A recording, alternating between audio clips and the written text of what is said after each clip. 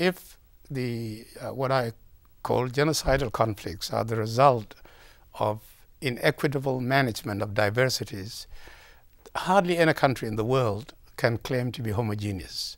Uh, diversity is is the characteristic of most of today's uh, nation states. What you do have, even a country like Somalia, that is supposed to be one of the most homogeneous societies in the world, is one of the worst torn apart by clan differences.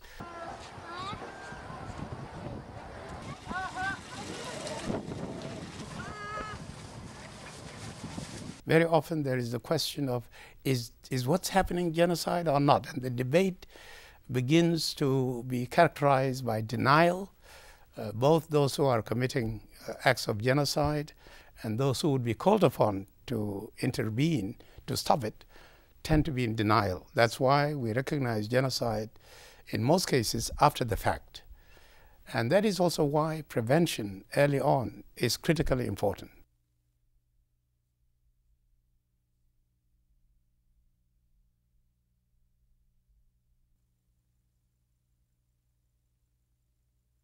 We try to be inclusive in monitoring global trends, but then classify countries according to the level of risk and maintain uh, our uh, information, uh, handle it rather discreetly, carefully, because no government wants to think that they might be on a list of countries that are threatened uh, with genocide.